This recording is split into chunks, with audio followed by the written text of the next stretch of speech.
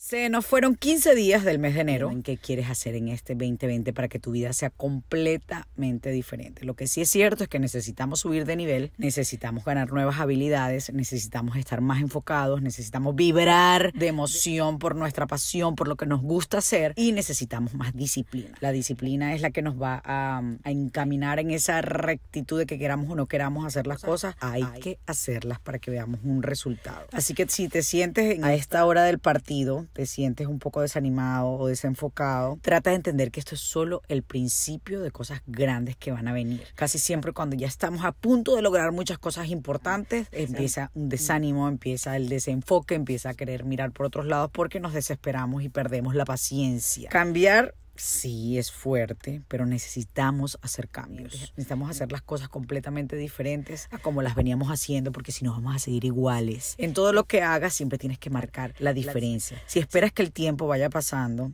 a ver qué ocurre, vas a vivir desesperado todo el tiempo, no vas a crecer y te vas a mantener siempre en la mediocridad. Aquí el primer requerimiento de la acción es, y es una de las cosas que aprendí recientemente, es la ambición. Nunca nadie nos enseña a ambicionar, a ampliar esa visión que tenemos en nuestra mente de las cosas que queremos, de los sueños que tenemos o de las ganas de, de cambiar nuestra vida o de vivir o de hacer, de tener, pero mucho más allá de lo que hemos venido pensando. No habrá acción sin ambición. Ambición de hacer algo, esa pasión y ese entusiasmo para hacerlo, ver ese big picture, esa foto final que nos va a decir si allá es donde yo voy a ir y ver la satisfacción y lo grande que es para ti lograr todo eso que ambición. Si miramos a nuestro alrededor nos vamos a dar cuenta que todo está creado porque alguien tuvo una ambición, alguien tuvo ambición de, de hacer edificios, de tener, de hacer puentes. Yo cuando veo los puentes para mí uno de, de los clics más grandes que vienen a mi mente cuando pienso en ambición son los puentes porque me parecen tan impresionantes, sobre todo aquí en Nueva York, esos puentes que son tan grandes, tan majestuosos.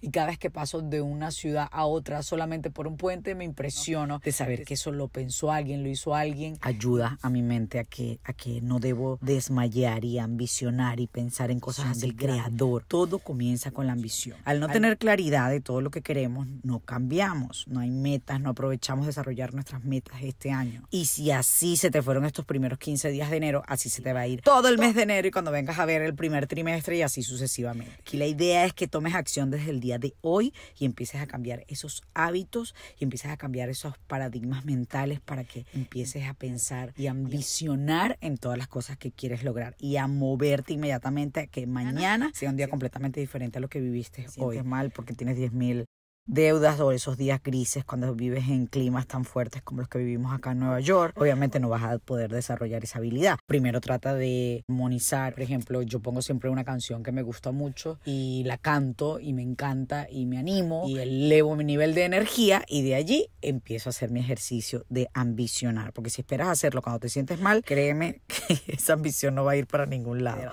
Te vas a quedar exactamente en donde estás. No te limites y ten tus propias ambiciones cuáles son esas ambiciones que te van a sacar de la cama, que te van a mover esos días grises y que te van a, sacudir ese cuerpo para que empieces a lograrlo. Y escríbelas, escríbelas para que no las olvides. Recuerda lo grande que eres y entrena tu mente. Eso es parte del trabajo que nosotros tenemos que hacer, de entrenar la mente porque no estamos acostumbrados, así que es un nuevo hábito que tenemos que darle a nuestra mente para empezar a ambicionar, a crecer, a creer que todo eso que vemos en nuestra mente puede ser hecho realidad. Y si eres mujer, no olvides, saca el mujerón que hay en ti. Si te gustó este video, dale like, comenta y compártelo con alguien que sepas que, que lo va a necesitar. Vamos todos ya a aprovechar todo lo que nos queda de enero porque aún hay tiempo de lograr nuestras metas, sueños y de ambicionar.